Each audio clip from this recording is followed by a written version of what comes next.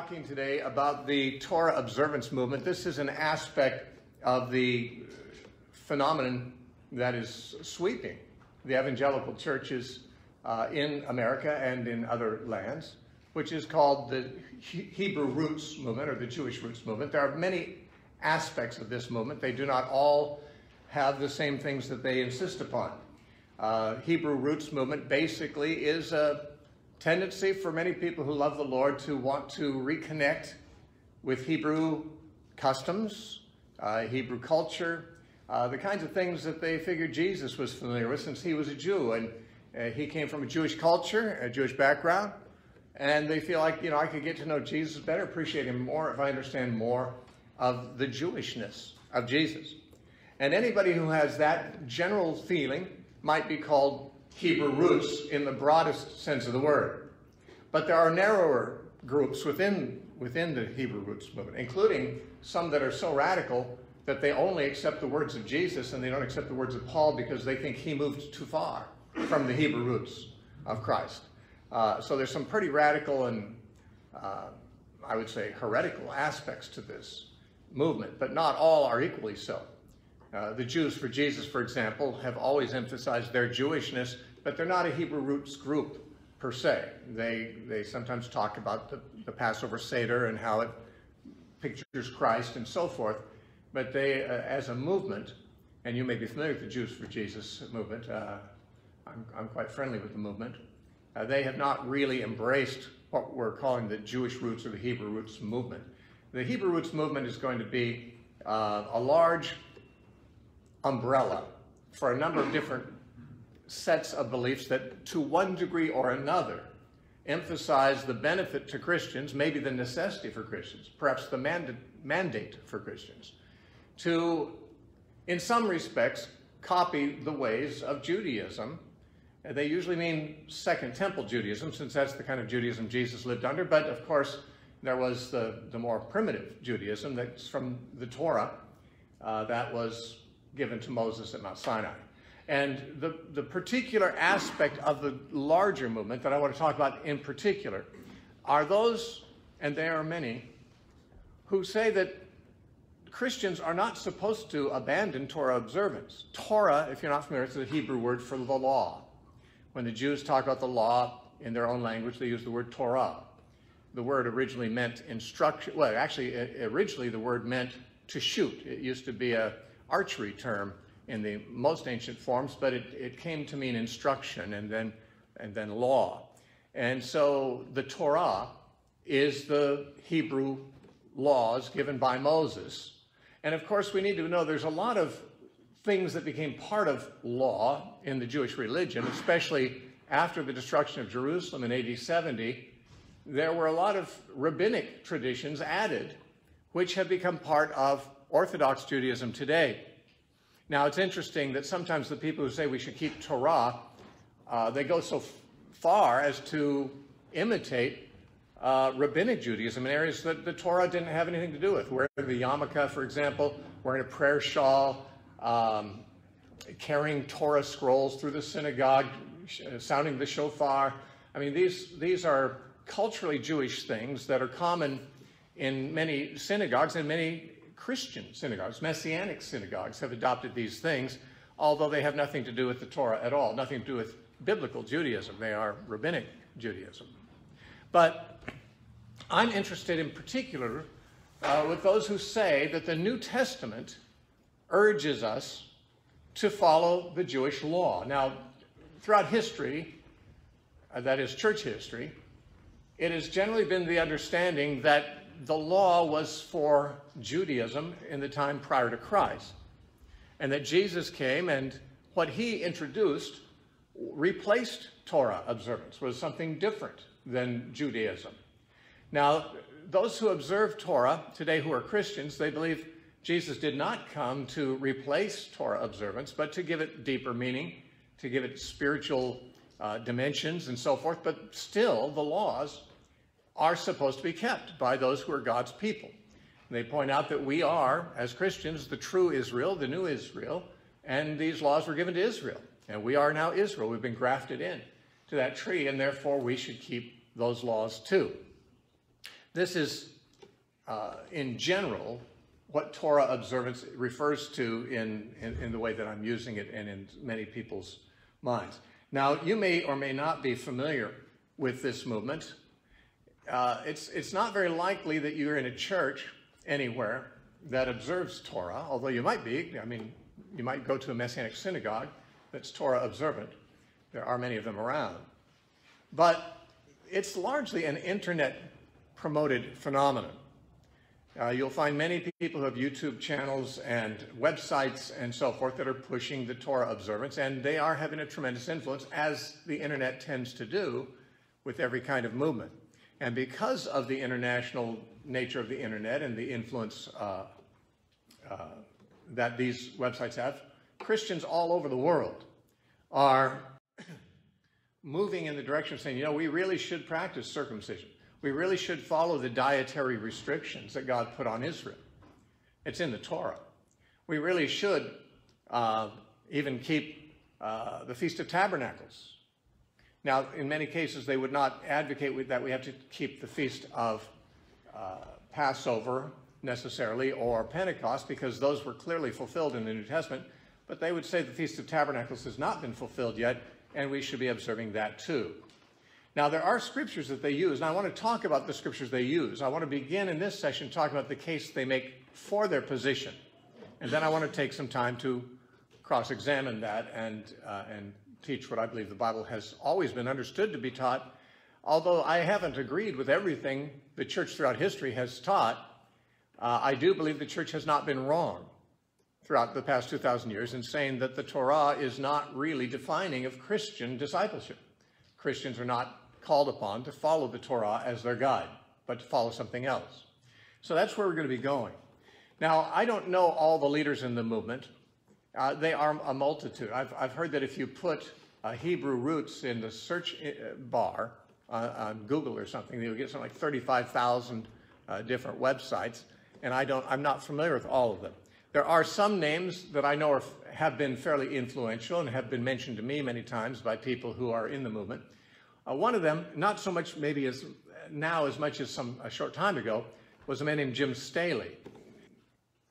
He was a pastor, um, but he was sentenced to prison, uh, federal prison, in order to pay $3.3 million to elderly investors he defrauded in an investment scam. He's 40 years old. He pleaded guilty in April to four counts of wire fraud and admitted that he cheated others while making uh, $570,000 for himself. Now, some people might say, well, that's just ad hominem. Of course, the fact that a guy is a crook and happened to teach something doesn't mean it's wrong, and I agree. There have been crooks who've taught good doctrine too.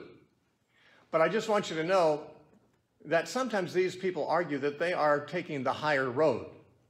Keeping the Torah is, is, the, is a step beyond what most Christians are willing to do. And those who are keeping the Torah sometimes feel like they're more pleasing to God. In fact, this, this man's particular case reminds me very much, of course, of the Pharisees. They had a very high standard of Torah observance, and yet they robbed widows' houses, Jesus said. He called them hypocrites because they kept outward laws, but they didn't, they weren't righteous people. Jesus said in Matthew 23, 23, Woe unto you, scribes and Pharisees, hypocrites, because you pay your tithes of mint and anise and cumin, but you neglect the weightier matters of the law, justice and mercy and faithfulness. So, you know, you can keep these external laws of, of, of Judaism, but that doesn't mean you're a good person. And uh, Jim Staley was one person who had a large following in the Torah observant movement. Uh, I don't know if his following is still as large now that he's in prison, but but the uh, I just thought that's that's one of the names, one of the first names I was ever made known of. Another one that I've seen, and he's rather controversial, is a guy named Michael Rood, R O O D. Michael Rood claims to be an ordained non denominational Christian minister and a Jewish messianic rabbi. However, he's not been trained as a rabbi, not been recognized as a rabbi by anybody. Uh, and he's not really ordained except with a cult called the Way International, which is kind of like if you know what the Jehovah's Witnesses believe, rubber stamp that and then add charismatic to it charismatic Jehovah's Witnesses is what the Way uh, International is. And he apparently was ordained with them at one time. Um, he demands that all Christians keep the Torah He's obsessed with dates and claims and current Hebrew calendar. He, sa- he says that the uh, Hebrew calendar is wrong today. So he recalculates dates a lot and makes sure you have to be doing everything right on the right calendar date just uh, to be Torah observant. He teaches that the, it's essential for Christians to keep the Sabbath and to observe the Old Testament festivals, following his particular calendar that he's developed. And uh, he says the use of purification rites are important. And he says that Christians who do not do so are an abomination to God. So he takes a pretty strong stand on the uh, mandatory observance of all the laws of the Old Testament. It says you're an abomination to God if you're not following it. Now, one of, one of these leaders that I know personally because I debated him in uh, Denver, Colorado uh, once, is a man named Doug Hamp, Douglas Hamp. And uh, he actually seems to have some credentials a little better than perhaps these others. Uh, he earned his MA in the Bible and its world from the Hebrew University of Jerusalem, and he earned his PhD in biblical studies from Louisiana Baptist University. He served as an assistant pastor at Calvary Chapel in Costa Mesa for six years, and his website says that he's been endorsed by Chuck Smith, Ken Ham, and other respected evangelical leaders. However, he doesn't say how recently they endorsed him. On his website, the closest I could see of any affiliation he had with Calvary Chapel was back in 2011. And I'm pretty sure that Chuck Smith did not endorse him after he began to teach Torah observance, because Chuck Smith and the Calvary Chapel movement would find that to be an abomination. So I think it's a little disingenuous of him to put on his website, I'm endorsed by Chuck Smith, I'm endorsed by Ken Ham. Those people, uh, answers in Genesis, would not agree with his main thrust of ministry now. I was ordained by Calvary Chapel myself back in the 80s, but I don't tell people that because Calvary Chapel wouldn't own me today. Uh, my, my theology is not such as they would promote. And therefore, I think out of integrity, I should not make any use or any claims about being ordained by Calvary Chapel. In fact, back, back in uh, 1971, I, I, received a letter of commendation from Chuck Smith uh, when I traveled to Europe. And uh, so I traveled with his, I could put, I'm, I am endorsed by Chuck Smith. It wouldn't exactly be honest because I'm sure that for the past 30 years, Chuck Smith has not agreed with some of the things I teach. And it's, I think this is no doubt very disingenuous of Douglas Hamp to put these endorsements on his website when I know for sure that he teaches things that Chuck Smith would find abominable. And he would not get such endorsement today from him. Um, he basically claims that Paul and all the early Christians were Torah observant. And I, I, I was asked to go De- to Denver and debate him. I did. And to my, in my experience, he didn't know how to exegete anything. Now, exegete means when you look at a scripture, you look at it in its context, you take the language of the original text, you, you know, compare it with what the author says in, in the context and other contexts on the same subject, and you draw from the passage the actual meaning. Uh, his, his use of scripture was completely disingenuous he would quote a scripture and say, This means that, and nothing in the scripture says so, and nothing in the context would support the notion. And uh, so, and yet he's quite an influential uh, Torah observance teacher. And I had lunch with him and so forth, and we, we talked in a friendly way, but I, I really felt like, like we're not in the same, uh, almost, I hate to say, I almost felt like we're not in the same family, you know? I mean, if we are, if he loves the Lord, then we are. But uh, it's like a different religion that doesn't really honor Scripture. You see, they feel that the church has not honored the Torah, has not honored the Scripture uh, through the ages because we have not advocated Torah observance for, for Christians. But really, as we shall see, they are the ones who are failing to exegete Scripture, and that's why they're coming up with understandings of it that no one has ever seen. The best Bible scholars, whether liberal, conservative, you know, Catholic, Protestant, doesn't matter what branch, Bible scholars have never understood the scriptures the way that these teachers understand them, and there's a good reason for that. I don't mind disagreeing with the historic consensus of Bible teachers if they've been wrong about everything, but and if it can be shown that they're wrong. But these people are not Bible scholars. They may be trained, but they're not scholarly. They're not. They don't really handle the scriptures honestly, or, in my mind, intelligently. There's another very important ministry to mention. It's, it's 119 Ministries. named after Psalm 119. 119 Ministries was founded in uh, 2010. It's a website. Their slogan is test everything, which is a wonderful slogan. I, would like to have that on my website. Test everything. The trouble is, you should test things by scripture. And, and frankly, the way they handle scripture, as I've observed on their website, does not show that they have very much of a standard to, to test by because if, if they test it by scripture, their conclusions would be quite wrong. This was a ministry started by two guys who had been, uh, I think they were both in a Pentecostal background, and um, one's name is uh, John Sherman, the other is Steve Moutria, and uh, they provide free online resources to their credit. They're not making money off people. They don't believe they should make money. They're not trying to be famous. They're almost anonymous at their website. You, you hardly ever you have to look to several different places in their website to find out even who, who's behind it. They seem to be, uh, uh, I've watched their videos, they seem to be humble men. Uh, I'm, I'm drawn to, to their uh, humility, I'm drawn to their sincerity, uh, but I, they are not impressive in their exegesis of Scripture. And this is where maybe everyone isn't so interested in exegesis of Scripture as I am. That's, that's an interest of mine.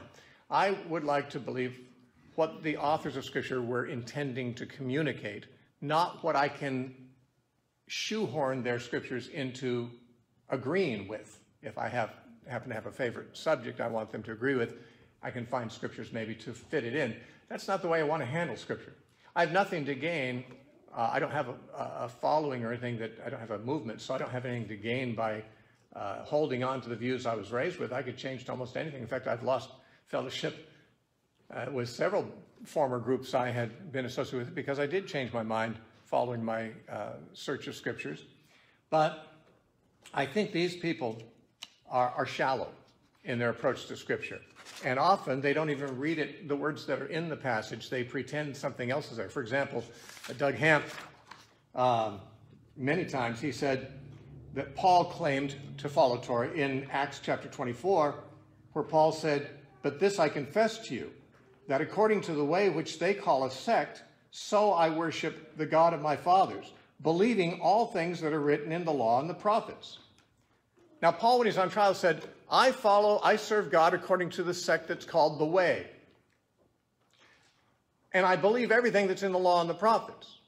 Well, I could say the same thing. I believe everything that's in the law and the prophets too. But Doug Hamp misquotes it saying that Paul said, I worship God according to all that is written in the Torah and the prophets. In other words, He's saying, I follow the Torah and the prophets. Paul didn't say that. And you'll find other places where Paul makes it very clear that that's not his commitment. He's not committed to keeping the Torah and the, the prophets as his way of life. He's following Christ.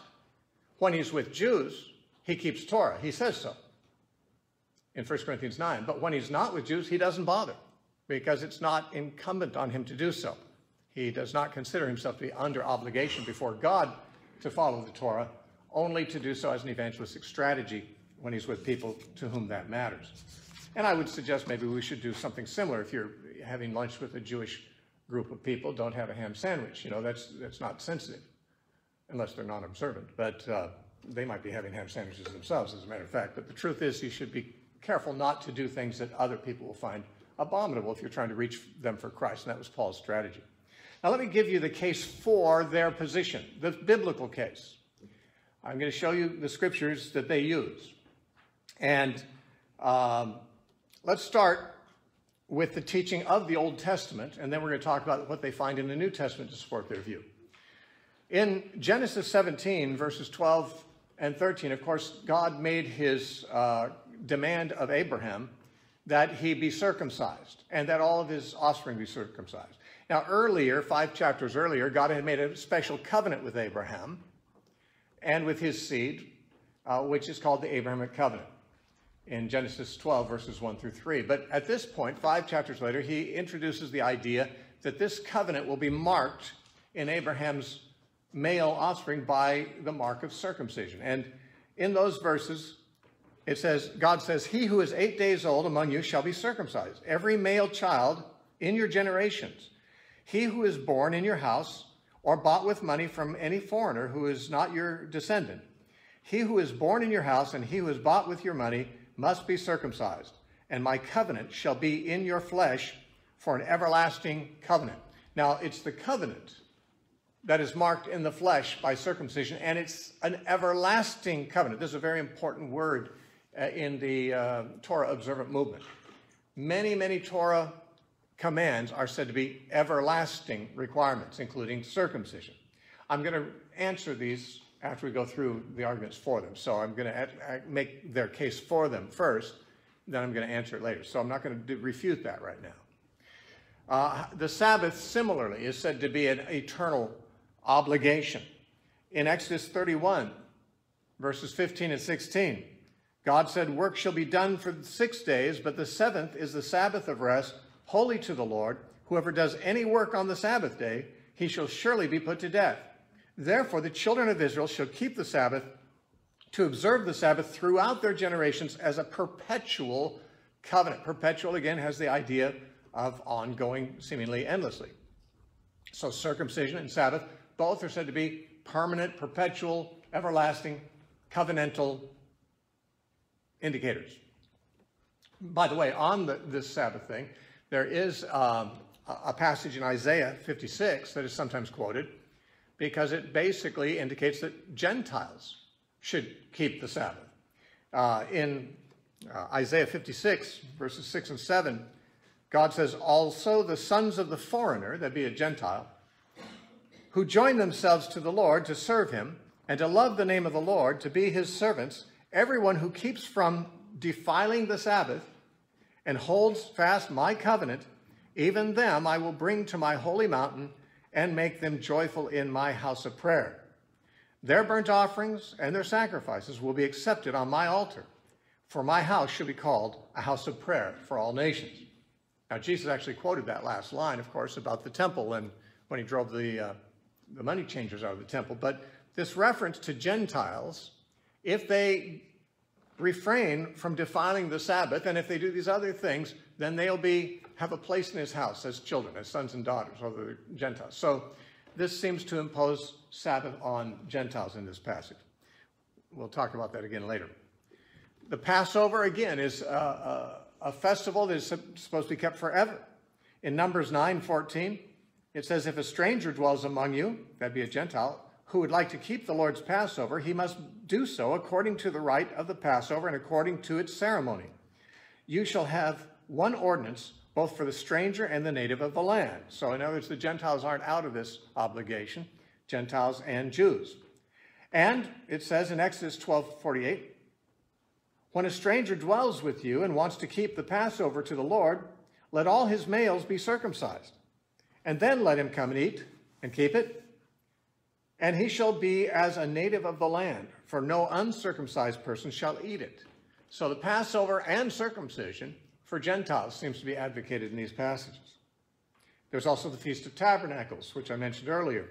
It says in Zechariah 14, which many people take to be a reference to a future millennial reign when Jesus has returned and set up um, the Jewish temple again in Jerusalem and reestablished the Torah, so some say. Uh, they say at that time all the nations will come and keep the Feast of Tabernacles. Zechariah 14, 6 through, 16 through 19 says, It shall come to pass that everyone who is left of all the nations, Gentiles, which came against Jerusalem shall go up from year to year to worship the King, the Messiah the Lord of hosts, and to keep the Feast of Tabernacles. This shall be the punishment of Egypt and the punishment of all the nations that do not come up and keep the Feast of Tabernacles. There'll be no rain in their land, he says, and so forth. So again, we have something that is sometimes said to apply to a future millennial reign of Christ. That's not how I understand it, but that's how it is very commonly presented. And they say, see, we'll be keeping the Feast of Tabernacles, at least during the millennium, and that would mean it's not really passed away. And there are, of course, many Hebrew roots people who make trips to Jerusalem in uh, the fall to celebrate the Feast of Tabernacle, Christians. And uh, anyone who's lived in Jerusalem through the fall season has probably run into some of these, uh, these Christian uh, messianic tabernacles. Uh, Sukkoth, Sukkoth is the feast name. Uh, people. Now, how about laws of unclean foods? It says Oh, I didn't put down the reference here. That doesn't happen very often. Uh, well, the scripture says in the Old Testament, those who sanctify themselves and purify themselves to go to the gardens after an idol in the midst, eating swine's flesh. This I know is in Isaiah, I forget the passage. Maybe 65? I'm not sure. 62. Uh, eating swine's flesh and the abomination and the mouse shall be consumed together, says the Lord. Now, the problem here is it talks about people eating unclean food, swine's flesh and uh, abominable food like the mouse, people eating that. And uh, they argue that this is actually talking, this passage in Isaiah is talking about the Messianic era or the, or the church age, the New Testament era. And therefore, people are being condemned for not keeping the dietary laws. So, this is one of the cases they make. So, they've got circumcision, Sabbath keeping, Passover, tabernacles, uh, the, the dietary restrictions of clean and unclean foods. All of these things in the Old Testament are either said to be permanent, everlasting laws. Sometimes it's specifically said the Gentiles will have to be circumcised to take part of these. And, uh, and there's some of them that are found in passages that people think belong to the Messianic age, either now or in the millennium. And so the point here is that these Old Testament laws do not give any indication of an era that would come when these laws would not be relevant, which, of course, is what Christian, Christian churches taught for 2,000 years. They're not relevant in the new uh, covenant order, but this is saying maybe not. Maybe they are relevant. Now, in the New Testament, of course, we have the teaching of Christ, and probably the most important thing Jesus said, though it's not the only thing he said that is, that is uh, grasped upon, seized upon, and promoted by those who believe in Torah observance, is what he said in the Sermon on the Mount in Matthew chapter 5, verses uh, 17 through 20. All right, we could just go 17 through 19. Jesus said, Do not think that I came to destroy the law or the prophets. Now, some Torah observants just quote that much and no more. Finishing the sentence is less, less helpful to them, but that part of the sentence seems very helpful to the Torah observants. Jesus did not come to destroy the law and the prophets. End of story. Why do Christians say he did when he said he didn't? You see, Jesus was Torah observant. Well, he didn't only say that, the sentence continues. He said, I did not come to destroy, but to fulfill.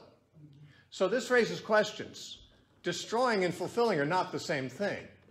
But what exactly does happen when the law is fulfilled? He came to fulfill it. Uh, what impact does that have when the law is fulfilled? And what ramifications are there in terms of the mandate of obedience to it? That's something that will need to be examined. But the, the Hebrew roots people would say, fulfilling the law just means that he came to live it out.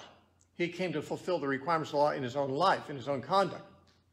And uh, of course, he did that because he was Torah observant and he didn't come to destroy the law. He didn't come to bring in a system of no laws or no Torah. That's how uh, this verse is commonly uh, presented. Jesus goes on to say, I say to you, till heaven and earth pass away, not one jot or yod or one tittle will by any means pass from the law until all is fulfilled. Now, again, that's an important thing. Till heaven and earth pass away, not one little bit of the law is going to pass away. I've, uh, in, in the day, debate with Doug Hamp and, and in listening to other Hebrew teachers, they emphasize this very strongly. The heaven and earth hasn't passed away. Last time I looked, Therefore, the law has not passed away, not one jot, not one tittle. Of course, they're a little poor on explaining why then are the sacrifices done away? Why is the Levitical priesthood done away? Why is the whole tabernacle cultus done away? That's all, that's more than a jot or a tittle. That's like half of the Torah. If now Jesus said, until heaven and earth pass away, not one little detail of the Torah will change until all is fulfilled. Now that's an important comment we're going to have to say more about later on. And he goes on to say, Whoever therefore breaks one of the least of these commandments and teaches men so shall be called least in the kingdom of heaven. But whoever does not does and teaches them shall be called great in the kingdom of heaven. So this is Jesus' comments with reference to the Torah. And it sounds like he's saying, you better keep it. And I'm not coming to destroy it.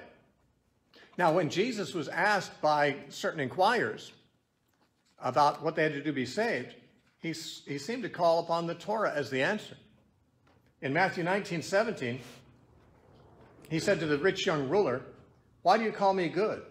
No one is, uh, no one is good but one, that is God. But if you want to enter into life, keep the commandments. The commandments? Which ones? The man said, Honor your father and mother, do not kill, do not steal. He's talking about the Old Testament commandments. Now, some people say he's talking about the Ten Commandments because some of the things he quoted are in the Ten Commandments, but in one of the Gospels he adds, and love your neighbors, you love yourself, which is not in the Ten Commandments, but certainly in the Torah. It's in the law. So Jesus tells this man that if you want to have life, keep the Torah. I mean, that's the teaching of Jesus. Observe Torah. In another place, it says in Luke 10, 25 through 28, a certain lawyer stood up and tested Jesus, saying, Teacher, what shall I do to inherit eternal life? And he said to him, What is written in your law? What is your reading of it? So he answered and said, You shall love the Lord your God with all your heart, with all your soul, with all your strength, and with all your mind, and your neighbors yourself. And Jesus said to him, You've answered rightly. Do this and you'll live. Okay, he said, Look in the law. You want to know what to do to live? Look into the Torah. And if you do that, you will live. So Jesus seemed to advocate Torah observance to these people. And there's more. Um, there's, of course, Paul. Now, usually Paul is the stick in the mud for this kind of a teaching because Paul is so famous for having taught against Torah observance. But not so, they say. We have misread Paul.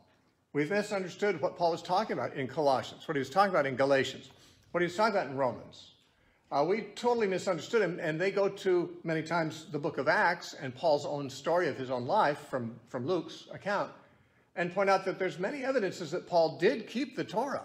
And therefore, we must be misunderstanding Paul's letters if we think that he's writing that we should not keep the Torah.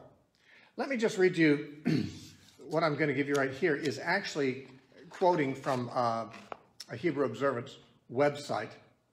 Uh, it's a Hebrew Roots website. And whoever wrote the piece wrote the following. It's a little lengthy, but I want to give you their whole teaching about Paul. Paul was an observant Jew, and that never changed. He kept the feasts, participated in offerings, and made vows according to the Jewish law.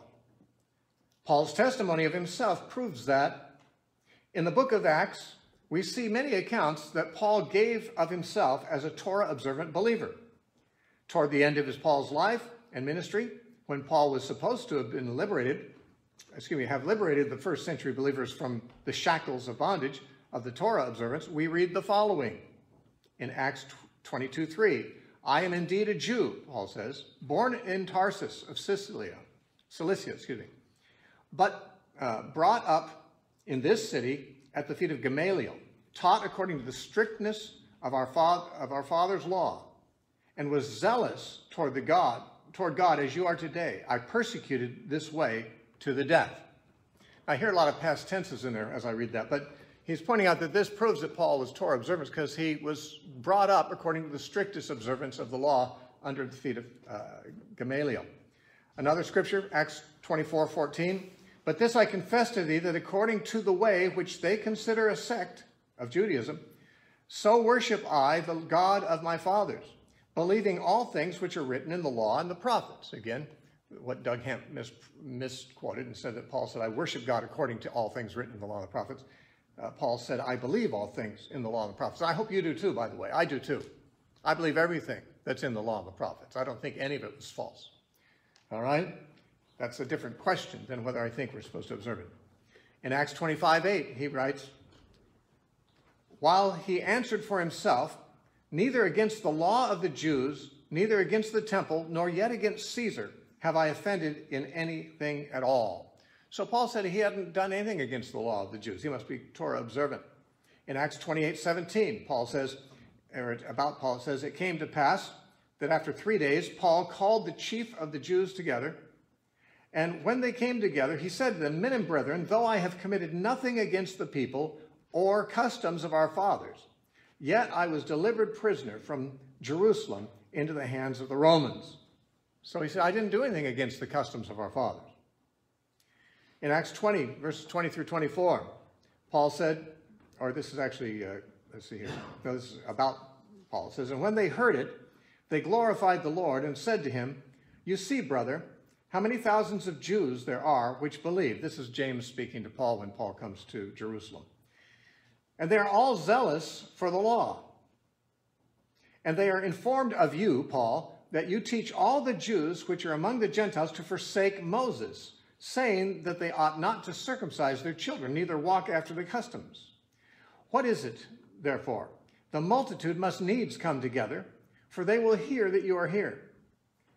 Do therefore this that we say to you. We have four men which have a vow on them. Take them and purify yourselves with yourself with them uh, and, and be at charges with them, that they may shave their heads, and all may know that those things whereof we are informed concerning you are nothing, but that you yourself also walk orderly and keep the law. Now, this is James speaking to Paul, but it, Paul agreed to it. Now, James said, We want our Jewish brethren here, he's in Jerusalem. Uh, they've heard bad things about you, at least things they consider to be bad things, and we want to uh, you know, disabuse them of this disinformation. They have heard, Paul, that you've been telling Jewish people to abandon Moses and to stop circumcising their children. Now, did Paul ever do that? I don't record, I don't read, recall anything recorded of Paul that he went to Jews and told them to abandon Moses or to stop circumcising their children. He certainly told Gentiles not to be circumcised. But he never told Jews to stop doing it. Paul did not consider the Jews to be his primary domain. We read in Galatians 2 that he and the other apostles had an agreement that he would go to the Gentiles and they would go to the circumcision. And he considered when he was in Jerusalem, he was in their territory. And, and we don't find anywhere that Paul went to Gentile lands and looked up Jews and said, stop circumcising, stop following Moses. Paul wasn't giving instructions to Jews, he was preaching the gospel to Jews and Gentiles. When people became Gentiles, he did give them instructions. But he was not guilty of what was being charged against him here. He did not go into the world and teach Jews to stop keeping the law, as far as we know. At least Paul, Paul agreed to pay the fees and purify himself with these Nazarites in the temple in order to communicate publicly that he was not guilty of the things charged. So, again, this is presented as if it's proofs that Paul is, in fact, Torah observant. In Acts 9, 1 and 2, it says, when, when going to search, uh, when going in search of believers in Yeshua, oh, this is the, the writer, I'm sorry, this is not the quote. When going in search of uh, believers in Yeshua, he went looking for them in the synagogues in Damascus, in Acts 9, 1 and 2. Well, that's a lot of them were Jewish Christians, and a lot of them were in the synagogues. Now he has a quote here from Galatians, not a not a friendly book to the particular movement this person belongs to, but they do quote from Galatians and some of these other books of Paul. In Galatians 1 13 through 14, Paul said, For you have heard of my conduct in time past in Judaism, how that beyond measure I persecuted the church of God and ravaged it, and excelled in Judaism above many of my peers within mine own kindred, being more exceedingly zealous for the traditions of the elders. Okay, that's his testimony. I'm not really sure how that makes the point that's supposedly being made. In Philippians chapter 3, verses 5 through 9, Paul describes his background prior to conversion. He says, I was circumcised the eighth day of the stock of Israel, of the tribe of Benjamin, a Hebrew of the Hebrews. Concerning the law, a Pharisee. Concerning zeal, persecuting the congregation of the church. Touching the righteousness which is in the law, blameless. But what things were gained to me? Those I counted loss for the Messiah. Yea, doubtless, and I count all things but loss for the supremacy of the knowledge of Messiah Yeshua, my Lord, for whom I have suffered the loss of all things, and do count them but dung. By the way, what was he calling dung? The things he just said that he had before he was a Christian. His righteousness according to Torah, all the things that made him prestigious among the Jews, his circumcision, his heritage to the tribe of Benjamin, his perfect observance of Torah. He says, when I came to Christ, I, all that stuff, I count that as dung, rubbish. And he goes on, that I may gain Messiah and be found in him, not having mine own righteousness, which is by the law, but the righteousness which is from God by faith, which is through faith in Messiah. Now, I have to say that that would be a scripture I might want to use to refute their position, but that's, again, what these scriptures have in common. They point out that Paul, before he was a Christian, was a Jew. He was still a Jew after he was a Christian, but he was a very strictly observant, Torah observant Jew before he was a Christian. And most of the things we just read are him saying so. Well, I don't think the church throughout history has ever denied that about Paul's background.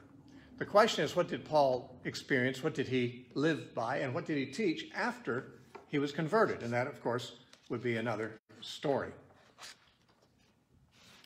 Um, let's look at what the uh, I'm going to skip over points here to, to a, a, point in my notes called confusion over covenants. And this is basically where I think the, the uh, Torah observant people have missed the boat. We have two parts of the Bible. We call them the Old Testament. Uh, the Jews call it the Old Testament the Tanakh. And we have the New Testament. Now, the word testament is based on the word covenant. In Greek, the word covenant and testament are would be the same in the Greek, not so in Hebrew, but um, it, it works in English. Covenant and testament are kind of used interchangeably in the New Testament, at least, which was written in Greek. And so the Older Testament, as it's called, is a reference to the system set up and followed in what we call the Old Testament. The New Covenant, the New Testament, is the covenant that is related to Christ. And so I'd like to give you some uh, sort of a survey of how we're to understand the covenant, because that is what those who observe Torah today are missing. They don't understand the new covenant, or the old covenant for that matter, it appears to me. I'd like to start by saying that the Torah, summarized by the Ten Commandments engraved in stone, are often referred to as the covenant in the Old Testament because they were the stipulations imposed upon Israel as part of the covenant struck at Mount Sinai. Now, at Mount Sinai, God gave them the Torah, the law. And that was not totally found in the Ten Commandments, to be sure. They, traditionally, there's supposedly 613 commandments in the Torah, but the Ten Commandments are a pretty good summary of the major uh, duties, morally at least, and also of the Sabbath, which uh, kind of summarizes uh, all the law in a way. And so the Old Testament refers to these tablets sometimes as the tablets of the covenant. The law is the covenant. Uh, and it says, for example, in Exodus 34 28, Moses was there for uh, 40 days and 40 nights. He neither ate bread nor drank water. And he wrote on the tablets the words of the covenant, the Ten Commandments. The Ten Commandments are the words of the covenant that God made at Mount Sinai. Exodus 34, 28 says. Also in Deuteronomy 9, 9, Moses says, When I went up into the mountain to receive the tablets of stone, the tablets of the covenant, which the Lord made with you, then I stayed on the mountain 40 days and 40 nights, neither ate I bread nor drank water. Now, the same information once told about Moses, once told by Moses in Deuteronomy. But the point is, both times he speaks of the stone tablets as the tables or the tablets of the covenant. The, the, and he even calls the, the covenant is the Ten Commandments. So we can see that Torah, of which the Ten Commandments simply are a, kind of a summary, um, an extract of the whole of the Torah, that is the covenant. That's the old covenant. The, the Old Testament doesn't call it the Old Covenant, but the New Testament actually does use that term. This covenant is called the, the Old Testament uh, and the Old uh, and the First Covenant in the New Testament. In 2 Corinthians 3:14, Paul said, "But their minds were blinded, for until this day the same veil remains unlifted in the reading of the Old Testament or the Old Covenant. Because of the veil, uh, because the veil is taken away in Christ. Now, what he's saying is when Jews read the Old Testament, what we Christians call the Old Testament, what they call the Tanakh, we, they can't see what we can see there. He says there's a veil over their minds. That veil is taken away in Christ. He later says, but when they turn to Christ, the veil is removed. Now, the main reason I gave that verse is because he calls it the Old Covenant. It's, it's an old covenant in contrast with one that is new. And in Hebrews 8 7, it said, If that first covenant, meaning the one given at Sinai, had been faultless, then no place would have been found for a second. The second one is what we call the new covenant, as we shall see. There's two covenants of importance. One, I mean, there's more than that. God made a covenant with Noah, God made a covenant with Abraham, and so and with David. But uh, in terms of this controversy, there's two covenants uh, significant to know about. One is called the first covenant, made at Mount Sinai with Israel. The second is called the new covenant. And so the writer of Hebrews talks about, you know, if that first covenant had been faultless, there would have been not uh, anyone's, uh, God would have not looked for a place for a second covenant. Uh, Hebrews 9:1 says, For indeed, even the first covenant had ordinances of divine service and the earthly sanctuary. Also Hebrews 9:18, Therefore, not even the first covenant was dedicated without blood. Hebrews 9:15, And for this reason, he is the mediator, Jesus is the mediator of a new covenant, by means of which, for the redemption of transgressions under the first covenant, that those who are called may receive the promise of eternal life or inher- eternal inheritance. So he talks about a first covenant from which we needed to be redeemed, and Jesus became the mediator of the new covenant, which is the means by which we are redeemed from the transgressions committed under the first covenant. So there's a distinction made in the New Testament between the covenant God made at Mount Sinai, which is the law, the Torah, and the covenant that Jesus struck when he came and met with his disciples in the upper room and said that he made the new covenant. Jeremiah had predicted this, and of course, Jeremiah is an Old Testament voice, an Old Testament prophet, at a time when the Sinaitic covenant was the covenant uh, in force. Jeremiah, by revelation from the Holy Spirit, knew a time would come when a different covenant and a different kind of covenant would come. So said Jeremiah 31 31, Behold, the days are coming, says the Lord, when I will make a new covenant with the house of Israel, with the house of Judah. He went on to say, It's not going to be like the covenant I made with their fathers when I brought them out of Egypt. It's going to be a different kind of covenant. One difference, of course, he mentions is it'll be his law will be written on the heart. In fact, uh, Torah observant people say that's really the only difference. The only change that the new covenant brings is that God writes the laws, the Torah of the old covenant, on the hearts of the believers, so that now we have his law on our hearts. But that's not new. David in Psalm 40 said his God's law was written on his heart. Deuteronomy, Moses said to you know circumcise your hearts and not your foreskins. I mean, this idea of the heart being brought into conformity with God's will is not absent from the Old Testament. It's rare because most of the Jews did not experience, apparently, this writing of the law in their hearts, but it was not unknown. The new covenant is something entirely new, apparently. It's not like the old covenant. It's not just a repeat of the old covenant or a rewriting of it in the hearts. That was already something that was a known phenomenon in the Old Testament times. There's something new in Jesus that wasn't there before. We'll find out what that is. In Luke 22 20, Jesus in the upper room with his disciples, the, the remnant of Israel, said likewise, it says, likewise, he also took the cup after supper, saying, This cup is the new covenant in my blood, which is shed for you.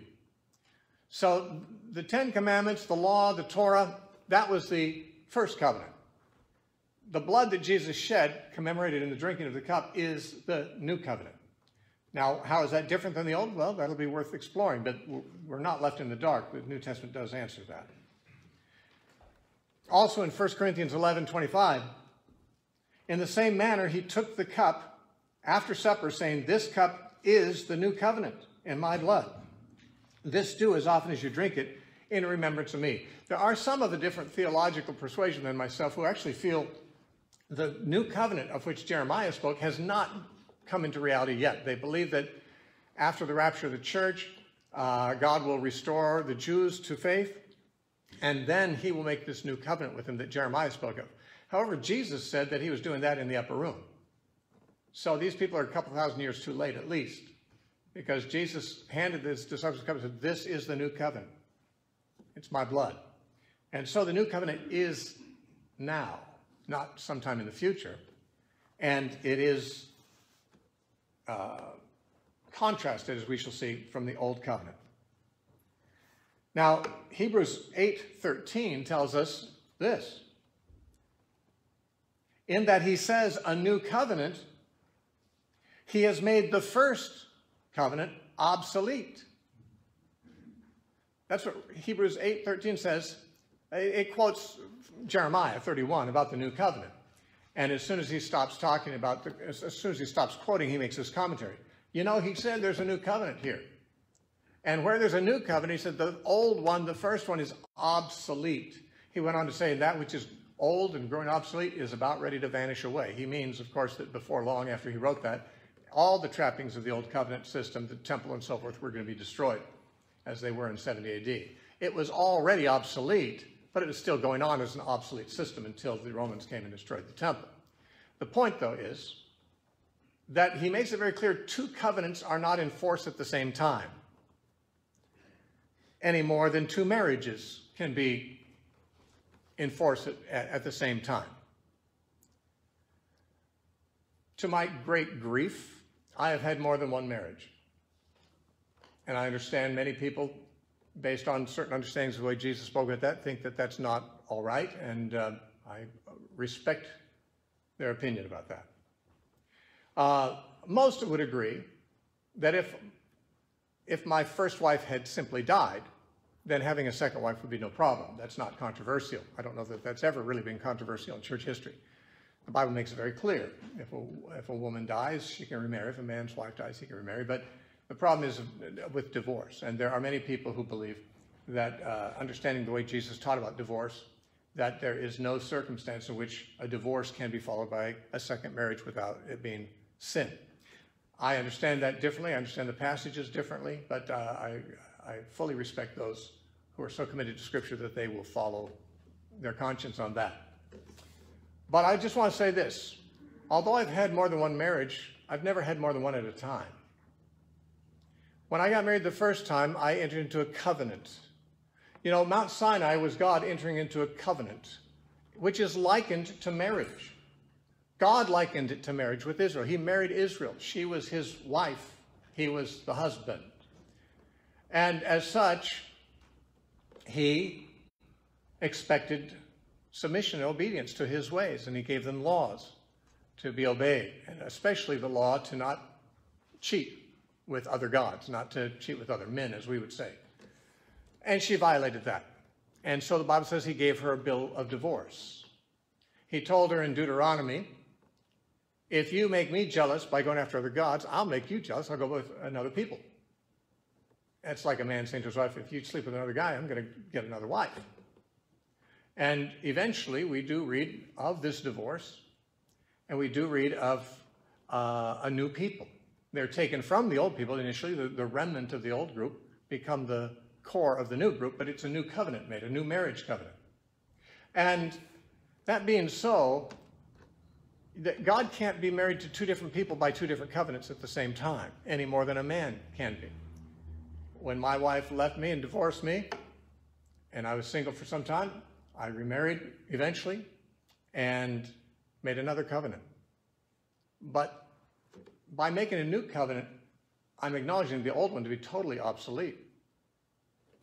No one would feel at liberty to remarry if they felt like their first covenant was still in force. You can't have two covenants at the same time, and that's God's the same way. He made a marriage covenant with Israel, and he and when he talked about making the new covenant, he alluded to it as a marriage because he said, um, at least in the Hebrew, uh, the Septuagint reads a little differently, but in Jeremiah 31, God said, The new covenant will not be like the old covenant which I made with their fathers when I brought them out of Egypt, which covenant they broke, although I was a husband to them. In other words, he's saying, I was a faithful husband. I kept the covenant. They didn't. So a time will come when we'll make a, a new covenant. And Jesus finds the remnant, the faithful remnant of the old group, and he brings them together for a uh, a meal to establish the new covenant. And he says, This cup is the new covenant in my blood. And now there's a new marriage. Now, the Jews were still around, they were divorced from God. They kept trying to keep the old covenant, but they never did that very well anyway. anyway but, and eventually, their entire ability to pretend was taken from them when the temple was destroyed. Now, that didn't keep them from continuing to pretend because they uh, you know, had a, a council at Jadua after that where they figured out how can we continue to be Jewish and keep the Torah without a temple? It seems to me that question should answer itself, but they didn't come up with the right answer to that. Well, we'll just come up with a bunch of regulations, which are the rabbinic regulations. They continue as rabbinic Judaism today, or what we call Orthodox Judaism. But they don't have a temple. They don't have sacrifice. They don't have at least 50% of the Torah is totally not followed by them. Why? Because God made it not possible for them to continue it, because he did something else. He went a different direction. And what they were involved with was about ready to vanish away when the writer of Hebrews wrote. He said, he's talked already about a new covenant. That makes the, old, the first one, it's obsolete. Now, if the old covenant is obsolete, isn't the old covenant the law? Now, I think that most people would have less trouble with that suggestion if they understood the new covenant better, because the law is written on the heart. And uh, Torah observant people say well, that means God's going to write the Torah on the hearts of the believers. Well, he didn't say that specifically. He said my law. He didn't say the law. He said my laws. I'm going to put my laws, my words in their inward parts. So he didn't say it's going to be the same ones that he gave to Moses. He gave a better law. And in Hebrews, it says the new covenant's based on better words, better, better promises, and so forth. Um, and it says specifically in Hebrews 7 12, where the writer is talking about the fact that the Aaronic priesthood is no longer because Christ now is the high priest forever after the order of Melchizedek, a permanent priesthood that will never be revoked. And there will never be a place for an Aaronic priest again in God's system. In saying that the priesthood has been changed, he makes this application. Hebrews 7:12. For the priesthood being changed, which is what he's argued as a given, he reaches this conclusion. Of necessity, there's also a change of the law. Oh, what kind of change do we have in mind here? If the priesthood has been changed, which is central to the law, then the law of which it was central must not be the same as it was before there must necessarily be a change in the law. Now, the writer of Hebrews at this point doesn't go into expounding on what all those changes are, but that's what the New Testament talks about. With a new covenant, the old is obsolete. The old law, the old priesthood, it's all changed now. There's something new. And we need to understand what's new so we don't get too bound up in the old. I was talking about how you can't have two marriage covenants with the same person, at the, uh, with, with two different people in one person. Paul goes into that very illustration in Romans chapter 7, verse 1 through 4. Romans 7, verses 1 through 4. Paul said, Or do you not know, brethren, for I speak to those who know the law. So he's writing to the Jewish element and those who are informed of Jewish things who are in the congregation in Rome. He says, I'm going to give you an, ex an example from the law to make the point I want to make. I speak to you who know the law, that the law has dominion over a man as long as he lives. Now, this statement, in my opinion, means no longer, only as long as he lives. Because the point he's going to make is if a person is dead, they're no longer under it. So when he says the law has power over a person as long as he lives, he means and no longer than that. For the woman who has a husband is bound by the law to her husband as long as he lives. Again, he means no longer than his lifetime. He's not addressing the questions that the law itself allows divorce in some, in some cases. In fact, the woman has very little to say about it in the law. The man just dumps his wife if he wants to. It's a very bad system uh, for divorce. But Paul's writing to people who know the law, so they would know about Deuteronomy 24. They'd know what the law says and what it doesn't say. They would know that the law does not say that a man and woman are bound necessarily forever for a lifetime. There are cases where they're not in the law. But no one is bound any longer than their lifetime. That's the point. He's saying there's a restriction on how long a person is bound in marriage. And that restriction is after one of the spouses is dead, there's no more marriage. And he goes on. He says, So then, if while her husband lives, she marries another man, she'll be called an adulteress. if she has a living husband. By the way, uh, the woman at the well had had five husbands. But Jesus said she was now with a man who was not her husband. He recognized five legitimate husbands, but one relationship that wasn't legitimate husband. So Jesus seemed to recognize five serial marriages as actual husbands, but now she was with somebody who, who uh, was not a husband. The point here is, though, if her husband dies, this is the point Paul's getting at, then she's free to be remarried, and she'll not be called an adulteress, though she has married another man. Now, here's his point. He's not really giving teachings about divorce or remarriage at all. He's not even talking about real marriage. He's using it as an analogy with reference to covenants, the law, and such. His whole point in Romans 7 is that we're not under the law. And so he's using this marriage analogy. And he says, Therefore, my brethren, you also have become dead to the law through the body of Christ, that you may be married to another. Who? To him who is raised from the dead, that we should bear fruit for God. Now, who was raised from the dead? Jesus. So we're married to Jesus now. There's a new covenant, a new marriage. We're the bride of Christ now. He's the bridegroom. That's the new covenant. But that only works if we're no longer married to the old one. If we're still married to the law, then we can't be married to Christ. The law and Christ would be rivals for our loyalty and affection. Two men can't be rivals for the same woman for very long. And they shouldn't ever be. And so we were married to the law, as it were, so to speak. There was this covenant bond.